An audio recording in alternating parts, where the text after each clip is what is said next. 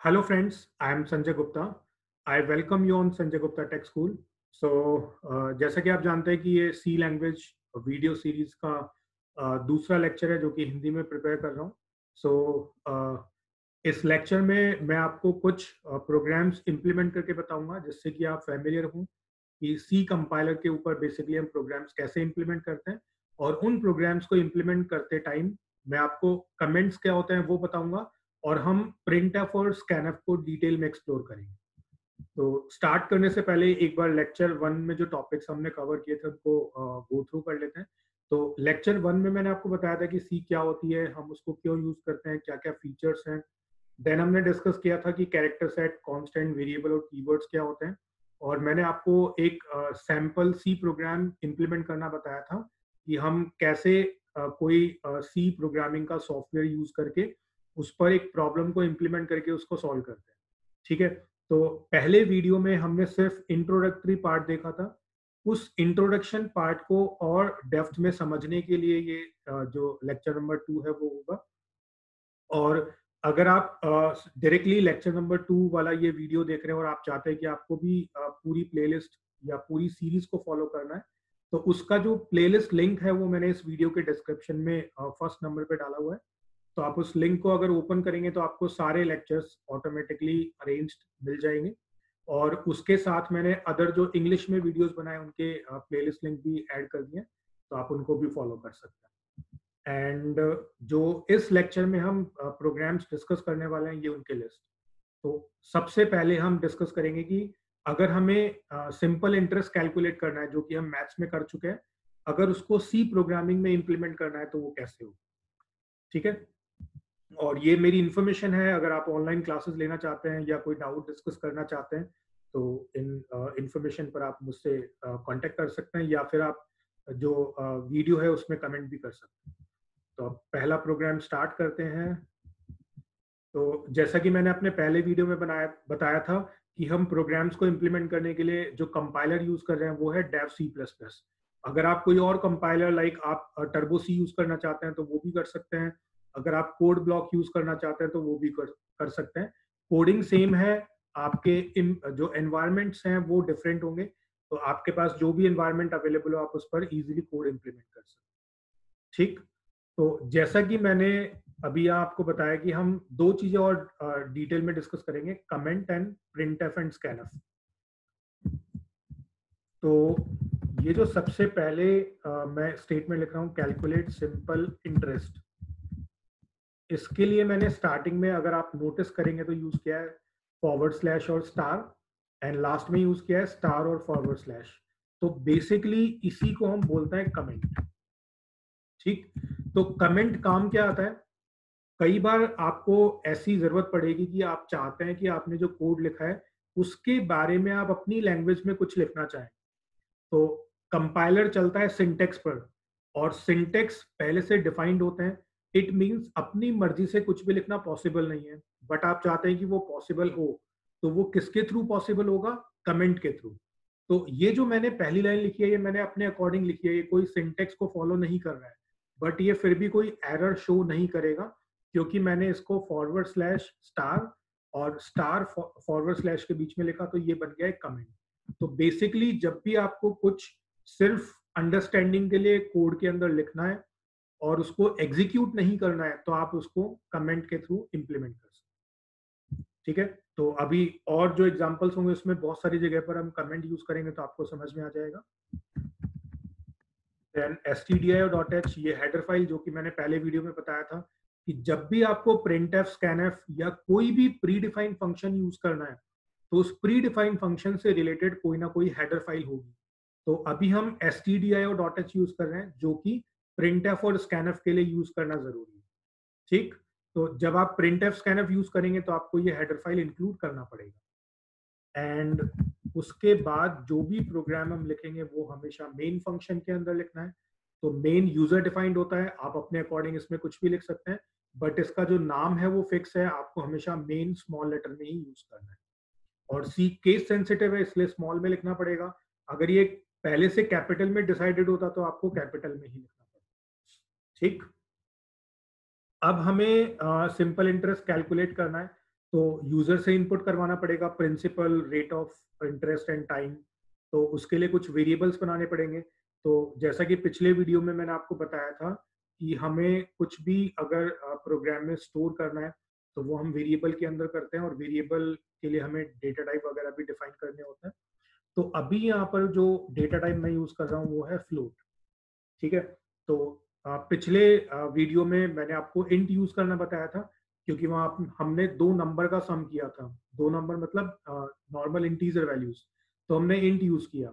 But अभी हम यहाँ फ्लोट यूज़ कर रहे हैं क्योंकि हमें पॉइंट वाली वैल्यूज़ को यूज़ करना है। तो उसके लिए मैं यहाँ कुछ वेरिएबल्स डिक्लेयर कर रहा हूँ। तो ये जो पहला स्टेटमेंट लिखा है, ये है वेरिएबल डिक्लेरेशन ठीक है? और अगेन ये मैंने क्या यूज़ किया है? कमेंट इट मीन्स ये एग्जीक्यूट नहीं होगा, ये सिर्फ़ आपको बता रहा है कि ये लाइन जो हमने लिखी है वो क्या है। तो हमने कितने वेरिएबल बनाए? चार। और किस टाइप के बनाए?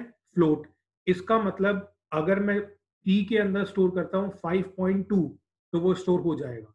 अगर फ्लोट के जगह इंट लिखता, अगर मैं यहाँ फ्लोट के जगह इंट लिखता, और फिर मैं पी में स्टोर करता 5.2 तो वो पॉइंट टू को स्टोर ही नहीं करता, वो सिर्फ़ फाइव को स्टोर करता। जबकि आपको मालूम होगा कि जब हम कोई भी इंटरेस्ट कैलकुलेशन करते हैं तो पॉइंट का बहुत बड़ा रोल होता है। तो इसलिए हम इंट के प्लेस पर क्या यूज़ करेंगे? फ्लोट वेरिएबल डिक्लेयर करने के बाद आप एक प्रिंटफ लिखोगे, जिसमें लिखोगे enter principal rate and time ठीक है, इनको पूरा पूरा भी लिख सकते हैं। तो principal rate and time user input करेगा देन आप लिखेंगे स्कैनफ अब हमें कितने नंबर रीड कराने? तीन. प्रिंसिपल रेट एंड टाइम और तीनों फ्लोट टाइप के हैं।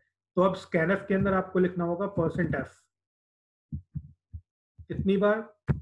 तीन बार, क्योंकि हम फ्लोट वैल्यू रीड कर रहे हैं। पिछले वीडियो में मैंने आपको बताया था कि हम परसेंट डी लिख रहे हैं। क्यों? क्योंकि वहाँ पर वेरिएबल किस टाइप के थे? इंटीजर टाइप के। तो अब आपको ध्यान रखना है, जब भी आप इंटीजर टाइप यूज़ करते हैं, जब आप इंट यूज़ करेंगे, तब आपको लिखना है स्कैनफ में परसेंट डी और जब आप फ्लोट यूज़ करेंगे तो आपको क्या यूज़ करना है? परसेंट एफ़ कितनी बार यूज़ करना है, वो डिपेंड करेगा कितने वेरिएबल आप इनपुट करवा रहे हैं। तो यहाँ कितने वेरिएबल इनपुट करवाए? तीन। तो परसेंट एफ़ कितनी बार लिखा है? तीन बार। ये।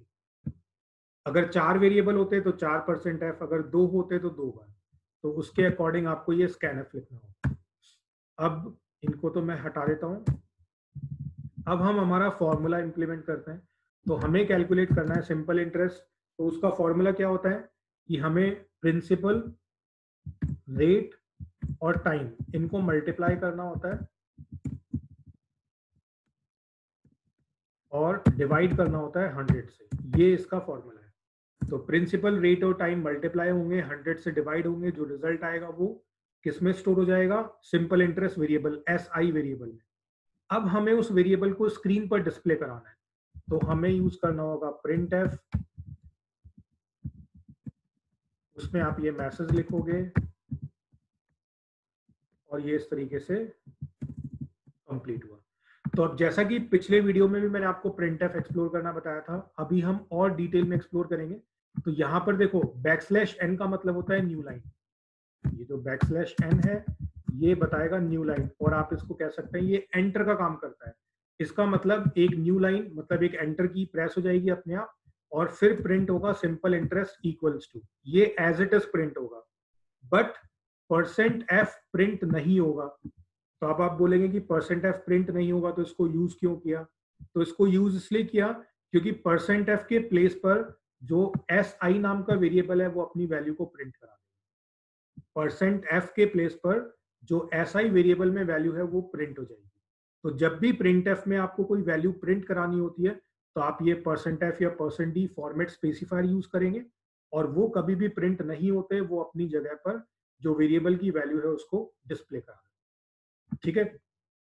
तो अभी आपको समझ में आ गया होगा और ये बहुत ही सिंपल प्रोग्राम है। हमने तीन वैल्यूज़ को इनपुट करवाया principal rate and time then फॉर्मूले से उसको सॉल्व uh, किया सिंपल इंटरेस्ट आइडेंटिफाई किया और प्रिंट एफ़ के थ्रू हम उसको स्क्रीन पर अब डिस्प्ले करवाएँगे। तो अब इसको सेव कर देते हैं एग्जीक्यूट करते हैं कंपाइल एंड रन तो कंपाइल एंड रन अगर कोई एरर होती तो नीचे आपको डिस्प्ले हो जाती अदरवाइज़ वो शो करेगा कि एरर्स और वार्निंग्स दोनों ज़ीरो हैं। अब मैं पहले एंटर करता हूँ प्रिंसिपल देन मैंने रेट ऑफ़ इंटरेस्ट डाला टेन और टाइम मैंने डाला थ्री और आपके सामने सिंपल इंटरेस्ट कैलकुलेट होकर आ गया थ्री हंड्रेड तो इस तरीके से आपने देखा कि अगर हमें कोई भी कैलकुलेशन या मैथमेटिकल प्रॉब्लम को सी में इंप्लीमेंट करना है तो उसके स्टेप्स क्या होंगे? तो सबसे पहले आप जितने वेरिएबल्स रिक्वायर्ड है वो डिक्लेयर करेंगे। फिर प्रिंट एफ़ और स्कैनफ के थ्रू आप यूज़र से जो वैल्यूज़ रिक्वायर्ड हैं वो इनपुट करवाएँगे। तो ऐसा मत सोचना कि आपने यहाँ चार वेरिएबल डिक्लेयर किए तो चारों ही इनपुट कराना है। हो सकता है कि कुछ वेरिएबल आपने कैलकुलेशन के लिए लिखे हो। तो जैसे चार वेरिएबल है तो मैंने तीन ही इनपुट करवाए। देन उन तीनों की हेल्प से मैंने एक कैलकुलेशन लिखा और उसका रिज़ल्ट मैंने इस चौथे वेरिएबल में स्टोर किया और फिर लास्ट में प्रिंट के थ्रू उसको स्क्रीन पर डिस्प्ले कराया। तो अब इसको अगर कैटेगराइज करें तो ये तीन पार्ट है। ये जो पहला पार्ट है, ये अपना इनपुट दूसरा है अपना प्रोसेस और तीसरा है अपना आउटपुट तो नॉर्मली आप जो भी प्रोग्राम इंप्लीमेंट करेंगे, उसमें आपको ये तीन फेजेस इंप्लीमेंट करने होंगे कि आप कुछ इनपुट लेंगे, फिर प्रोसेस अप्लाई करेंगे और फिर आप आउटपुट की फॉर्म में उसको डिस्प्ले करा देंगे. ठीक है? अब आउटपुट में आपने देखा होगा, जैसे मैं इसको फिर से अगर रन करता हूँ तो आप देखोगे कि 300 पॉइंट एंड सिक्स जीरोस यहाँ पर प्रिंट हो रहे हैं। अब आप चाहोगे कि पॉइंट के बाद सिक्स ज़ीरो क्यों आए? दो ही आ जाते तो उसको भी हम लिमिट कर सकते हैं। तो आपको क्या करना पड़ेगा? ये जो प्रिंट एफ़ के अंदर परसेंट एफ़ लिखा है, इसको लिख देंगे परसेंट पॉइंट टू एफ़ तो इसका मतलब पॉइंट के बाद कितने डिजिट प्रिंट होंगे? टू डिजिट्स तो इसको सेव करके अगर फिर से रन करें तो ये मैं प्रिंट एफ़ को एक्सप्लोर करके बता रहा हूँ। मतलब कुछ ऐसी चीज़ें आपको बताऊँगा, जो नॉर्मली अगर आप किसी और के वीडियोस देखेंगे तो आपको नहीं मिलेगी देखने को। तो मैं कुछ अलग हटके चीज़ें भी आपको मेरे जो वीडियो सीरीज़ उसमें बताने वाला हूँ। तो आप देख सकते हैं थ्री हंड्रेड पॉइंट टू यहाँ पर अवेलेबल है। अगर पॉइंट थ्री एफ़ लिखते तो पॉइंट के बाद तीन डिजिट्स आते फोर एफ़ लिखते तो फोर डिजिट आते। तो इस तरीके से आप जो फ्लोट वैल्यूज़ प्रिंट करेंगे उसको आप अपने अकॉर्डिंग कस्टमाइज कर सकते हैं। ठीक है? तो इतना समझ में आ गया होगा। अब आगे बढ़ते हैं। तो अगली प्रॉब्लम है calculate area and perimeter of rectangle तो अब हमें इसमें दो चीज़ें सॉल्व करनी है। तो पहले इसको इरेज करते हैं। और यहाँ पर लिख देते हैं calculate area and perimeter of rectangle तो देखो अगेन हमने कमेंट की हेल्प ली ताकि हमें पता चल जाए कि हम करने क्या वाले हैं। फिर header file as it is रहेगा, क्योंकि प्रिंट एफ़ स्कैन एफ़ आप नॉर्मली हर प्रोग्राम में यूज़ करेंगे। फिर मेन फ़ंक्शन के अंदर सबसे पहले वेरिएबल तो अब देखो इनपुट क्या क्या करना है? लेंथ और ब्रेथ अगर हम रेक्टेंगल का एरिया निकालेंगे या पैरीमीटर निकालेंगे तो हमें दो इनपुट चाहिए। पहला लेंथ और दूसरा हो जाएगा ब्रेथ ठीक है? दो इनपुट की रिक्वायरमेंट है। तो अब इनपुट इंटीजर होगा या फ्लोट मतलब पॉइंट वाली वैल्यूज़ आएँगी या विदाउट सो आप कहेंगे कि पॉइंट की वैल्यू क्योंकि जो लेंथ होती है, उसमें पॉइंट आ सकता है। तो अगेन हम क्या यूज़ करेंगे? फ्लोट और मैंने दो वेरिएबल बनाए, एक लेंथ के लिए और दूसरा ब्रेथ के लिए। अब हमें कैलकुलेट करना है एरिया एंड पैरीमीटर तो ए मैंने बना दिया एरिया के लिए और पी बना दिया पैरीमीटर के लिए। तो टोटल वेरिएबल कितने हुए? चार। क्या हमें चारों इनपुट करवाने? नहीं। हमें सिर्फ़ दो ही इनपुट कराने। पहला होगा लेंथ और दूसरा होगा ब्रेथ तो आप प्रिंट एफ़ लिखोगे अब। जो कि एक मैसेज डिस्प्ले कराएगा, एंटर लेंथ एंड फिर आप लिखोगे स्कैन एफ़ अब देखो कितने इनपुट है? दो। पिछले प्रोग्राम में कितने थे? तीन। तो अभी परसेंट एफ़ कितनी बार लिखना पड़ेगा? दो बार। तो अब आई होप कि आपको धीरे धीरे चीज़ें समझ में आ रही होंगी। तो जैसे जैसे हम प्रोग्राम्स जितने ज़्यादा बनाते जाएँगे, आपको उतना ही कॉन्फिडेंस आता जाएगा। तो जैसे ही आप ये वीडियो देखें तो एक प्रोग्राम देखा, आप उसको इम्प्लीमेंट कर सकते हैं। या फिर पूरी वीडियो देखने के बाद जो भी तीन या चार प्रोग्राम में एक्सप्लेन करता हूँ, उनको आप प्रैक्टिस करें। तो आप मेरी पूरी वीडियो सीरीज़ में देखेंगे कि मैं आपको थियोरिटिकल कंसेप्ट के साथ साथ जो भी प्रोग्राम्स है वो प्रैक्टिकली इम्प्लीमेंट करना बताऊँगा। तो ये आपकी लर्निंग के लिए बहुत बेनिफिशियल रहेगा। और कहीं भी कोई भी डाउट हो, मुझसे इस वीडियो के अंदर कमेंट करें। या मैंने आपको अपनी ईमेल आईडी और व्हाट्सएप नंबर शेयर किया हुआ है तो आप मुझसे बेहिचक कांटेक्ट कर सकते हैं और बात कर सकते हैं। ठीक है तो हमने इनपुट रिसीव किया। अब हमारा सेकेंड फ़ेज़ है प्रोसेस कि हमें एरिया और पेरीमीटर कैलकुलेट करना है। तो अब आपसे अगर मैं पूछूँ कि एरिया पेरीमीटर का फॉर्मूला क्या है तो आप थोड़ा सा मुस्कुराएँगे कि सर, ये तो बहुत ईजी सी बात है कि अगर एरिया निकालना है तो लेंथ और ब्रेथ को मल्टीप्लाई कर दो और पेरीमीटर निकालना है तो two into L plus B तो अगर ये इतना ही सिंपल है तो उसको इम्प्लीमेंट भी कर देते हैं। तो ये हो गया एरिया और ये हुआ पेरीमीटर ठीक है तो जितना मैथमेटिक्स सिंपल है, उतना ही प्रोग्रामिंग सिंपल है। अब कुछ लोग हंस रहे होंगे कि सर मैथ्स कहाँ सिंपल है? तो मैथ्स बहुत सिंपल है, बस वो प्रैक्टिस मांगती है। तो सिमिलरली अगर प्रोग्रामिंग मैथ्स पर बेस्ड है तो प्रोग्रामिंग भी क्या मांगेगी? प्रैक्टिस जितनी प्रैक्टिस करोगे, उतनी ईजी लगेगी। और अगर सिर्फ़ वीडियो देख के सोचोगे कि हाँ हमें समझ में आ गया तो थोड़ा थोड़ा डर रहेगा कि क्या पता हम इसको बना भी पाएँगे या नहीं। तो वीडियो देखने के बाद आप प्रोग्राम को इम्प्लीमेंट करो, जहाँ अटक जाओ तो वीडियो फिर से देखो एक्सप्लेनेशन समझो डिस्कस करो, दोस्तों से डिस्कस करो, मुझसे डिस्कस करो, ताकि आपको जितनी प्रॉब्लम्स आए उन सबके डाउट्स क्लियर हो जाए। ठीक है? तो जैसे मैथ्स में हम प्रॉब्लम सॉल्व करते हैं, वैसे ही यहाँ पर सॉल्व कर रहे हैं। बस आपको ध्यान रखना है कि यहाँ रूल्स फॉलो करने पड़ेंगे। मैथ्स में तो हम कॉपी पेन पर लिखते हैं तो वहाँ पर कोई भी चीज़ एग्जीक्यूट नहीं होती है बट कंप्यूटर में जो सॉफ्टवेयर बनता है वो लाइव रन होता है। अगर कोई मिस्टेक होगी तो पता चल जाएगी। तो आप यहाँ पर चीज़ों से भाग नहीं सकते, आपको प्रॉपर रूल्स फॉलो करने पड़ेंगे। तो ये हमने एरिया पेरीमीटर कैलकुलेट किया। तो ये अपना सेकेंड फ़ेज़ कंप्लीट हुआ। अब थर्ड फ़ेज़ आता है कि रिज़ल्ट प्रिंट करवाओ। अब यहाँ पर आपको प्रिंट का थोड़ा सा और मॉडिफाइड फॉर्म देखने को मिलेगा। तो आज, अभी तक, आज तक नहीं, अभी तक जो पिछला प्रोग्राम था उसमें एक आउटपुट था, सिंपल इंटरेस्ट। और जो लेक्चर वन मैंने आपको बताया, उसमें भी हमने दो नंबर का सम किया तो वहाँ पर भी एक आउटपुट था। अब ये पहला ऐसा प्रोग्राम है जिसमें दो आउटपुट आ रहे हैं। कि हमें एरिया भी प्रिंट करना है और पेरीमीटर भी। तो आप कहोगे कि, सर, दो प्रिंट एफ़ यूज़ करोगे या एक से ही काम हो जाएगा? तो मैं कहूँगा कि दोनों में से कोई भी यूज़ करो, जो आपको सही लगता है। तो पहले हम दो प्रिंट एफ़ लिखेंगे, फिर बाद में उन दोनों प्रिंट को एक प्रिंट में कन्वर्ट करेंगे। ठीक है? तो ये आ गया मेरा पहला प्रिंट एफ़ जो कि प्रिंट करेगा एरिया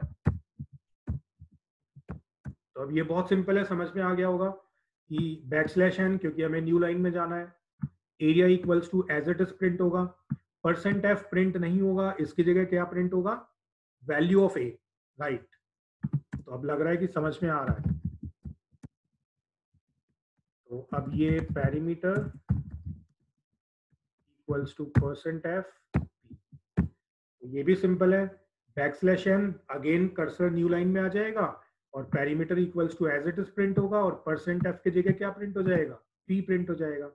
अब मैंने पिछले एग्ज़ाम्पल में बताया था कि परसेंट पॉइंट टू एफ़ लिखेंगे तो पॉइंट के बाद दो डिजिट प्रिंट होंगे अदरवाइज़ छह डिजिट तब उसको एक में तो पॉइंट टू एफ़ लिखते हैं और एक में लिखते हैं पॉइंट फोर एफ़ जिससे दोनों चीज़ें क्लियर हो जाएगी। ठीक है तो ये अपना प्रोग्राम पूरा इम्प्लीमेंट हो गया सेव किया और इसको रन कर देते हैं। तो अब इसको रन करेंगे तो मैंने इनपुट किया 2.5 लेंथ ब्रेथ मैंने एंटर कर दी 5.6 ये देखो आउटपुट एरिया आ गया 14.0000 कितने ज़ीरो चार, क्योंकि हमने क्या लिखा था? परसेंट पॉइंट फोर एफ़ और पेरीमीटर कितना आ रहा है? 16.20 तो पॉइंट के बाद दो ही डिजिट्स आ रहे हैं, क्योंकि हमने परसेंट पॉइंट टू एफ़ लिखा था। तो जैसा आप लिखोगे, वैसे ही आउटपुट में आ जाएगा, ठीक है? और दोनों एरिया पेरीमीटर अलग अलग लाइन में आ रहे हैं। अब आप कहोगे कि ये स्लैश एन हटा के भी तो दिखाओ, एक बार आप हमेशा यूज़ ही करते हो, इसको हटा दो तो मैंने हटा दिया। अब आप देखोगे कि सब कुछ एक ही लाइन में प्रिंट हो जाएगा। तो फिर से 5.2 और 5.6 देख लो एरिया पेरीमीटर एक ही लाइन में प्रिंट हो रहा है अलग अलग लाइन में प्रिंट नहीं हुआ। तो अब आपको यकीन हो गया होगा कि बैक स्लैश एन कितना इंपॉर्टेंट है। तो बैक स्लैश एन लगाओगे तो लाइन चेंज होगी, नहीं लगाओगे तो नहीं होगी। सिंपल तो इसीलिए प्रैक्टिकल करना ज़रूरी है, ताकि आपको हैंड्स ऑन करने को मिले कि जो चीज़ें मैं बता रहा हूँ, वो एक्चुअली होती भी है। ठीक है, खुद से करोगे तो कॉन्फिडेंस आएगा, देख लोगे तो लगेगा कि हाँ आपको मानना ही पड़ेगा कि ऐसा होता होगा। ठीक है? अब आप कहोगे कि दो प्रिंट को एक ही प्रिंट में कन्वर्ट करके बताओ। तो अब यहाँ पर कमेंट का एक और यूज़ देखेंगे। नॉर्मली क्या करोगे? कि इन दोनों लाइनों को डिलीट कर दोगे। मैं इनको डिलीट नहीं करूँगा, ये प्रोग्राम में एज इट इज़ रहेंगे, ताकि हो सकता है कि कभी और आपको इनको यूज़ करना पड़े। तो मैं इनको कमेंट के अंदर डाल देता हूँ। ये मैंने इनको बना दिया कमेंट अब ये दोनों लाइनें डेड हो चुकी हैं। फिजिकली अवेलेबल हैं बट एग्जीक्यूट नहीं होंगी। अब इनकी जगह पर अपन लिखते हैं प्रिंट एफ़ एक एक प्रिंट एफ़ इन दोनों प्रिंट एफ़ का काम कर जाएगा। Area equals to percent F तो परसेंट पॉइंट अब यहाँ टू एफ़ लिख रहा हूँ। फिर से back slash N perimeter equals to percent point two F और ए कॉमा पी तो थोड़ा सा प्रिंट एफ़ को हमने एक्सप्लोर किया। तो अब देखो back slash N new line area equals to as it as it is print होगा। Percent point two F print नहीं होगा, इसकी जगह क्या प्रिंट हो जाएगा? ए वेरिएबल अब ये ध्यान रखना, पहला परसेंट एफ़ पहले वेरिएबल से रिप्लेस होगा, दूसरा परसेंट एफ़ दूसरे वेरिएबल से रिप्लेस होगा। तो ऑर्डर मैटर करता है, उसको आप अपने अकॉर्डिंग नहीं लिख सकते। आपको फॉलो करना पड़ेगा कि पहला परसेंट एफ़ पहला वेरिएबल दूसरा परसेंट एफ़ दूसरा वेरिएबल एंड सो फिर बीच में हमने बैक स्लैश एन लिखा तो ये लाइन चेंज करेगा। फिर perimeter equals to as it is print होगा, और ये रिप्लेस हो जाएगा वैल्यू ऑफ़ तो मैंने इसको सेव कर दिया। इसको भी कंपाइल करके रन करके देख लेते हैं। तो 2.5 5.7 देखो डिफरेंट आंसर आया। अभी दोनों जो रिजल्ट्स हैं उसमें पॉइंट के बाद दो ही डिजिट्स हैं, क्योंकि आप देख सकते हो मैंने परसेंट के बाद पॉइंट टू एफ़ और पॉइंट टू एफ़ यूज़ किया। ठीक है? और ये एरिया पैरीमीटर अलग अलग लाइन में प्रिंट हो रहा है, जबकि हमने एक ही प्रिंट एफ़ यूज़ किया है। तो ऐसा क्यों हुआ? क्योंकि मैंने प्रिंट एफ़ के मिडिल में भी बैक स्लैश एन लगा दिया। तो अब ज़रूरी नहीं है कि प्रिंट एफ़ की स्टार्टिंग में आप बैक स्लैश एन यूज़ करें। आप बैक स्लैश एन को पूरे प्रिंट के डबल कोट्स के अंदर कहीं पर भी यूज़ कर सकते अब आप कहोगे कि ये कमेंट बनाया था, अब इसको रीयूज कर सकते हैं क्या? यस कमेंट हटा दो तो आपका कोड अलाइव हो गया। डेड था कमेंट हटा, हटाते ही अलाइव हो गया। अब इसको एज इट इज़ रन करते हैं तो अब आपके पास में सेम कैलकुलेशन के दो आउटपुट आएँगे। सेम कैलकुलेशन के दो आउटपुट 2.5 और लेट से 3.4 तो अब देखो एरिया इक्वल्स टू 8 पॉइंट अब यहाँ फोर डिजिट्स आ रहे हैं क्योंकि वह पॉइंट फोर एफ़ था। फिर पैरीमीटर आया 11.80 फिर एरिया आ गया, फिर पैरीमीटर आ गया। तो क्यों? क्योंकि एक सेट ऑफ़ प्रिंट एफ़ ये काम कर रहा है और एक सेट ऑफ़ प्रिंट एफ़ ये काम कर रहा है। अब आपको जो चाहिए उसको रखो, अगर दूसरे को नहीं रखना है तो डिलीट कर सकते हो। पूरा स्टेटमेंट को सेलेक्ट करके डिलीट कर दो या फिर उसको कमेंट बना दो।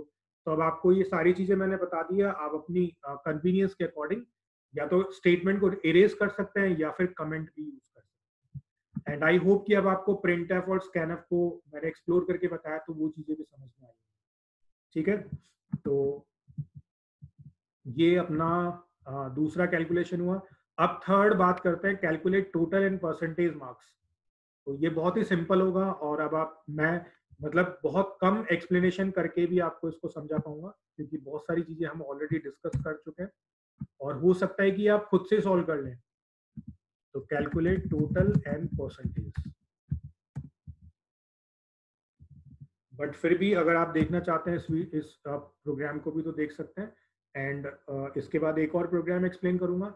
तो चारों प्रोग्राम एक साथ देखने के बाद आप उनको प्रैक्टिकली इंप्लीमेंट करें ताकि आपको चीज़ें और अच्छे से समझ में आए। अब हम यहाँ पर क्या करेंगे? टोटल और परसेंटेज निकालना है। और हम मान के चल रहे हैं सब्जेक्ट्स हैं थ्री ठीक है? तो इसका मतलब तीन इनपुट तो पक्के हो गए।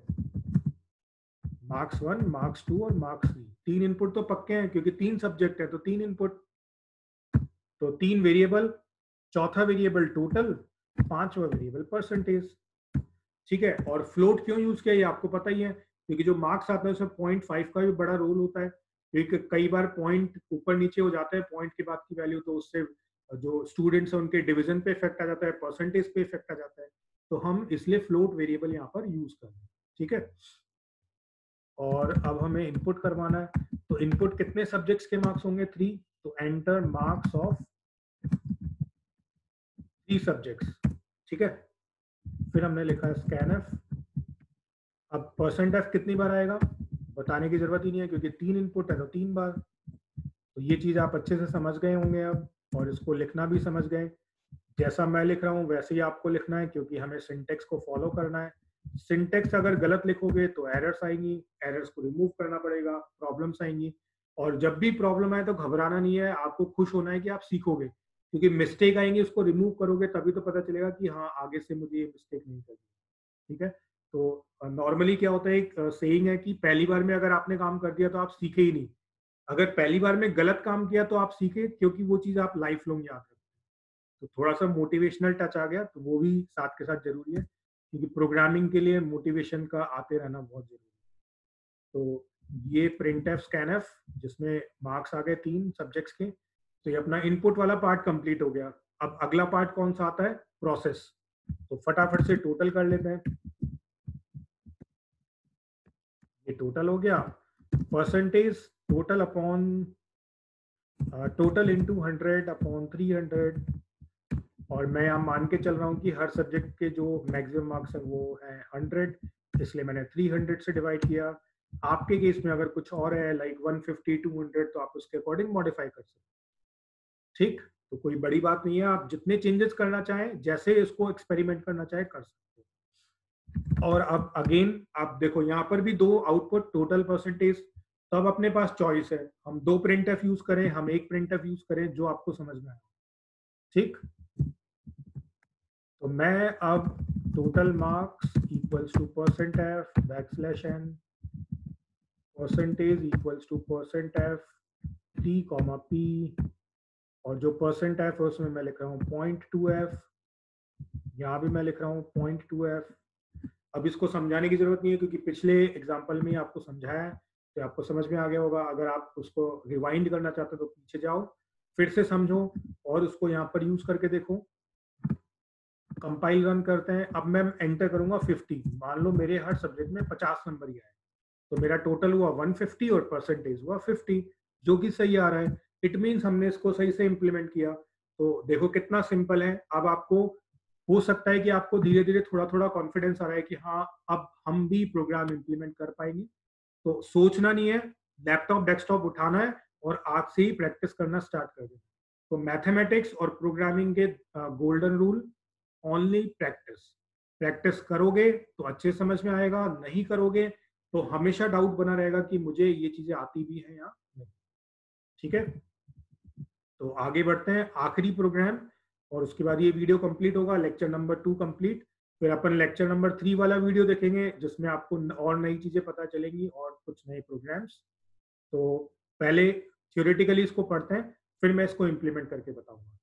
तो अगर आप पढ़ोगे फोर्थ प्रोग्राम का जो प्रॉब्लम है, वो कह रहा है कि हमें रीड करना है बेसिक सैलरी अब यहाँ पर बात है पैसे की सैलरी ठीक है? किसके? एम्प्लॉय तो जब आप जॉब करोगे तो आपको सैलरी मिलेगी। तो नॉर्मली पढ़ाई करते क्यों है ताकि कुछ कमा पाए? ठीक है? और कमाना बहुत इंपॉर्टेंट है अगर इस दुनिया में जीना है तो क्योंकि पैसा ही नहीं होगा तो कुछ कर नहीं सकते। तो अगर आप एम्प्लॉय बनेंगे तो आपको सैलरी मिलेगी, जिसको बोलते हैं बेसिक सैलरी अब बेसिक सैलरी पर कुछ और सैलरी भी मिलती है, ठीक है? जो आपको मोटिवेशन देती है कि हाँ हमें काम करना है, ठीक? तो हमें क्या करना है? ग्रॉस सैलरी निकालनी है।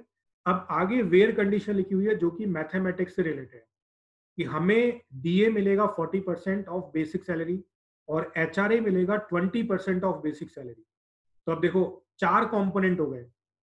Basic salary gross salary DA और एच इनपुट क्या कराना है? सिर्फ़ बेसिक सैलरी क्यों? क्योंकि डीए कैलकुलेट होगा, जो कि 40 परसेंट ऑफ़ बेसिक सैलरी है, और एचआरए भी कैलकुलेट होगा, जो कि 20 परसेंट ऑफ़ बेसिक सैलरी है। तो उन दोनों को इनपुट नहीं करवाएँगे। तो बेसिक सैलरी इनपुट हुआ, उसके थ्रू डीए एच कैलकुलेट किया, फिर तीनों बेसिक सैलरी डीए और एचआरए को अगर ऐड कर देंगे तो क्या मिल जाएगा? Gross salary, right? तो चलते हैं प्रोग्राम इंप्लीमेंट करते हैं फटाफट जिससे ये वीडियो कंप्लीट हो और आप अगला वीडियो देख पाए। तो इसको चेंज करके मैंने लिख दिया कैलकुलेट ग्रॉस सैलरी तो अब अपने पास में अगेन फ्लोट वेरिएबल क्यों क्योंकि पैसे की बात है पॉइंट की वैल्यूज़ आएँगी। चार variable basic salary D H R A gross salary input क्या करना है? सिर्फ़ एक ग्रॉस सॉरी बेसिक सैलरी क्योंकि आर ए मैथमेटिकली कैलकुलेट करेंगे, फिर तीनों को ऐड करेंगे तो ग्रॉस सैलरी बन जाएगी। तो इनपुट क्या लेना है? वो डिसाइड करना बहुत इंपॉर्टेंट है। अगर वो गलत डिसाइड किया तो कैलकुलेशन गलत हो जाएगी। तो इसलिए मैं आपको वो चीज़ें भी करके बता रहा हूँ ताकि आपको डाउट्स ना रहे। तो अब प्रिंट एफ़ और स्कैन एफ़ में तो आप एक्सपर्ट हो गए होंगे, फटाफट लिख सकते हो जैसे कि मैंने टाइप किया। एक इनपुट है, एक परसेंट एफ़ आया और एक वेरिएबल यूज़ किया। इनपुट बेसिक सैलरी मतलब डी एस वेरिएबल में आ चुका है। अब हमें क्या करना है? D H R A calculate करना है। तो अब दोबारा देखें तो डीए कितना है? 40 परसेंट ऑफ़ बेसिक सैलरी और एच आर ए कितना है? 20 परसेंट ऑफ़ बेसिक सैलरी तो ये आप मैथ्स के खिलाड़ी हो, फटाफट कर सकते हो। आप क्या लिखोगे? DA equals to basic salary into forty upon hundred तो बेसिक सैलरी का 40 परसेंट किसमें आ जाएगा? डीए वेरिएबल और आप चाहो तो इसको ऐसे भी लिख सकते हो कि basic salary into point four ये भी चलेगा। और ये मैं कमेंट के थ्रू लिख रहा हूँ समझाने के लिए। तो आप ये वाला फॉर्मूला भी अप्लाई कर सकते हो। Basic salary into point four ये भी चलेगा। ठीक है? H R equals to basic salary into twenty upon hundred ठीक, अब हमने बेसिक सैलरी इनपुट करवाया, उसके बाद D H R A calculate कर लिया, उसको इनपुट नहीं करवाया। अब ग्रॉस सैलरी कैलकुलेट करने के लिए क्या करोगे? सबको जोड़ दो। तो ये आ गई अपनी ग्रॉस सैलरी तो फाइनली कितने आउटपुट एक एक आउटपुट है तो प्रिंट एफ़ एक ही बार लिखना है, कोई डाउट ही नहीं है। और प्रिंट एफ़ के आप खिलाड़ी हो अब। तो gross salary equals to percent F percent point two F comma gross salary ये प्रोग्राम कंप्लीट हो गया। तो देखा कितना इजी था। टोटल मैथ्स हमने यूज़ किया simple print F scanner variable को मैनेज किया प्रोग्राम इंप्लीमेंट हुआ। उसको कंपाइल करके रन करो। चेक करो कि कोई एरर तो नहीं है। एरर नहीं है तो रन हो जाएगा। रन हो जाएगा तो इनपुट करो। बेसिक सैलरी 1000 ग्रॉस सैलरी 1600 क्योंकि 1000 का 40 परसेंट हुआ 400 20 परसेंट हुआ 200 तो हज़ार प्लस 400 प्लस 200 इक्वल्स टू 1600 तो टोटल सैलरी आ गई। तो इस तरीके से हमने वेरीफाई कर लिया कि जो हमने प्रोग्राम लिखा है वो बिल्कुल सही लिखा है। तो दोस्तों, इस तरीके से ये सेकेंड लेक्चर कंप्लीट हुआ, जिसमें मैंने आपको कुछ वीडियो सॉरी कुछ प्रोग्राम्स को एक्चुअली इंप्लीमेंट करके बताया। उनसे रिलेटेड चीज़ें बताई कि इनपुट आउटपुट कैसे डिसाइड करें, कैसे लॉजिक बनाए। ठीक है? अगले वीडियो में हम बात करेंगे डेटा टाइप की तो लेक्चर नंबर थ्री देखना ना भूलें। लेक्चर नंबर वन में इंट्रोडक्शन बताया था और इस पूरी, जो सी लैंग्वेज की वीडियो सीरीज़ है, जो कि हिंदी में बना रहा हूँ, उसका लिंक आपको हर लेक्चर के डिस्क्रिप्शन में मिलेगा। तो उस प्लेलिस्ट लिंक को ओपन करो, उसमें सारे वीडियोस आपको अरेंज होकर मिल जाएँगे। उस लिंक के साथ आपको और बहुत सारे वीडियोस के लिंक्स मिलेंगे, जो कि इंग्लिश में बनाए गए उनको भी देखो, ताकि आप कैसे और प्रोग्राम्स बनते हैं, उनके एक्सप्लेनेशन देख पाओ और आप अच्छे से प्रोग्रामिंग को सीख पाओ। सो आई होप कि आपको समझ में आया होगा और वीडियोस को फॉलो करते रहिए। Thank you for watching this video